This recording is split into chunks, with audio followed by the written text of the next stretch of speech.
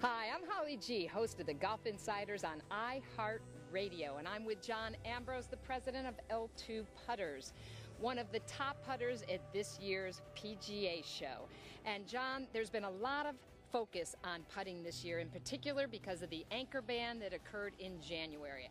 A lot of amateurs out there, including PGA Tour pros, that have been struggling with this transition.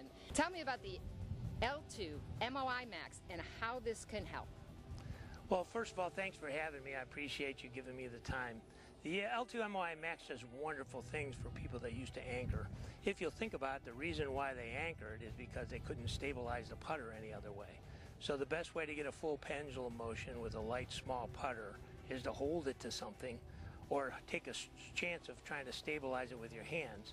Hands and wrist putting is really the plague of putting, which is why even the, the tour pros that don't anchor they use left hand low, they use a claw grip, they're doing everything they can to decontrol and loosen the, the, the grip that they have on their dominant hand during the stroke.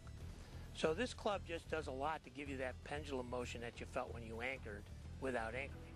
What's that famous Bob Rotella line about control? Yeah, he says, if you want control, you have to give up control.